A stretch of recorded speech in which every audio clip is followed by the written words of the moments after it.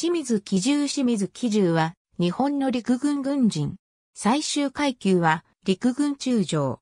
この F 表第三連隊長時代愛媛県出身。士族、清水義行の次男。陸軍幼年学校を経て、1902年11月、陸軍士官学校を卒業。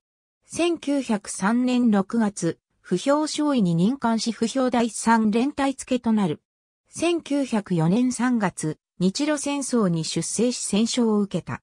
同年8月、陸軍中央幼年学校生徒官となり、陸士生徒隊付けなどを経て、1910年11月、陸軍大学校を卒業。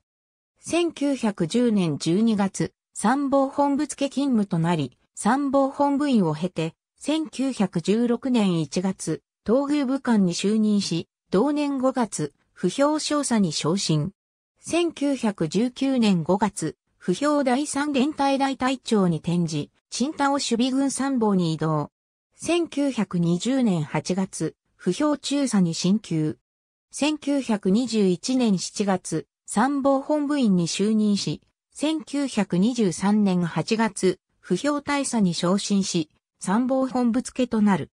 1924年2月、陸軍不評学校教官に移り、この F 表第三連隊長、参謀本部課長を歴任。1928年8月、陸軍少将に進級し不評第33、旅団長に就任。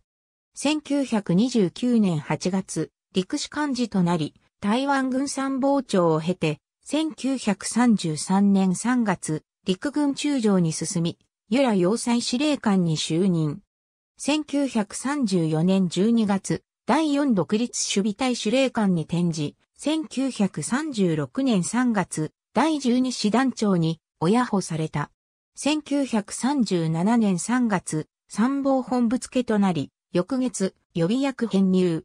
1938年5月に召集を受け、第116師団長に就任し日中戦争に出征。兵隊基地警備、観光攻略戦などに参加。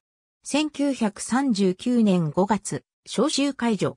1941年3月から1945年まで山水中学校長を務めた。趣味は読書。宗教は真言宗。住所は東京市渋谷区代々木西原。ありがとうございます。